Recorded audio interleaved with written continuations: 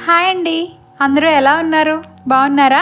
Welcome back to our channel Vinny's home cooking ఈరోజు మన ఛానల్లో నేను చాలా ఈజీగా క్విక్గా క్యాబేజీ రైస్ ఎలా ప్రిపేర్ చేసుకోవాలో చూపించబోతున్నానండి.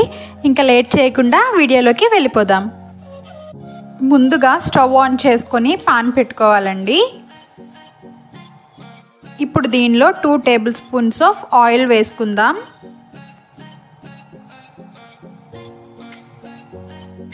ఆయిల్ హీట్ అయిన తర్వాత వెల్లుల్లిని చిన్ని చిన్ని పీసెస్లా కట్ చేసి తీసుకుందామండి. ఇప్పుడు చిన్ని చిన్ని పీసెస్గా కట్ చేసిన అల్లం ముక్కలు.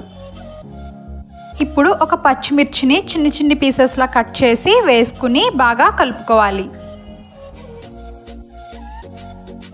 ఇప్పుడు ఒక మీడియం సైజ్ ఆనియన్ని తీసుకుని సన్నగా కట్ చేసుకొని వేసి కలుపుకోవాలి.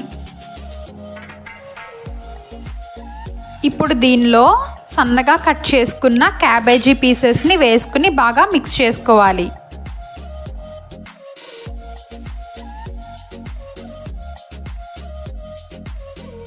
ఇప్పుడు దీనిలో హాఫ్ టీ స్పూన్ సాల్ట్ వేసుకోవాలి.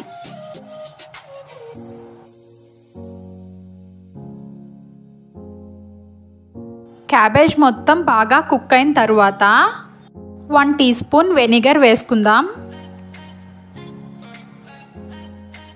Next one tea spoon soya sauce వేసుకుందాం. ఈ వెనిగర్ అండ్ సోయా సాస్ అనేది ఆప్షనల్ అండి. మీకు ఇష్టం ఉంటే వేసుకోవచ్చు లేకపోతే స్కిప్ చేసేయచ్చు. ఇప్పుడు దీనిలో మనం ఆల్రెడీ కుక్ చేసుకున్న రైస్ని యాడ్ చేసుకుందాం. నేను నార్మల్ రైస్ తీసుకున్నాను. మీరు బాస్మతి రైస్ కూడా తీసుకోవచ్చు. రైస్ యాడ్ చేసుకున్నాక half tea spoon pepper powder వేసుకొని అంతా బాగా మిక్స్ చేసుకోవాలి. ఇప్పుడు ఒకసారి సాల్ట్ని చెక్ చేసుకోండి.